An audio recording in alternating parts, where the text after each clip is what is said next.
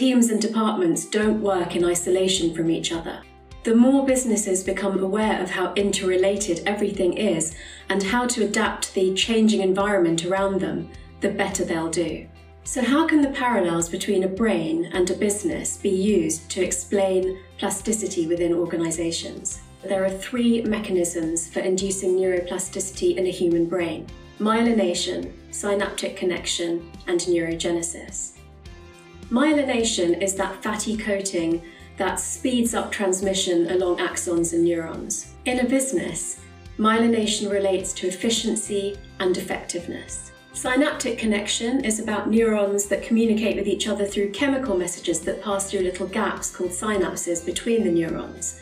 And there are many of these within a big neural pathway. So, in a business, synaptic connection is about communication with key stakeholders. It's about business critical relationships. An organisation with healthy synaptic connections triggers a lot of trust and excitement, which correlates with the bonding hormone oxytocin. We need the right balance of trust and excitement to prevent burnout but to keep motivation going.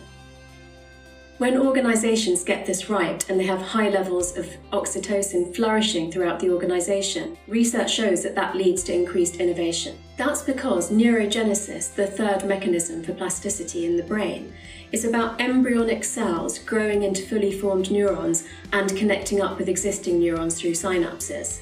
When there are high circulating levels of cortisol in a brain, this actually leads to cell death. So, stress can literally kill cells in your brain. When the synaptic connections are good and strong, and there's more oxytocin in the system, this reduces the balance of cortisol and allows these embryonic cells to grow. Where you have high levels of neurogenesis in an organisation, you're cultivating and nurturing innovation.